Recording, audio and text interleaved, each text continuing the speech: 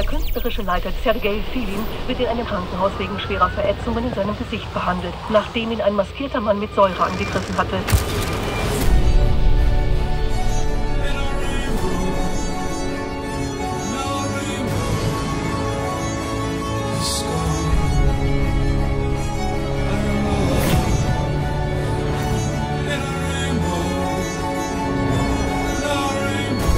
Dass der Tänzer des Bolschoi-Theaters, Pavel Dimitrischenko, von beruflichem Neid und Rache geleitet war.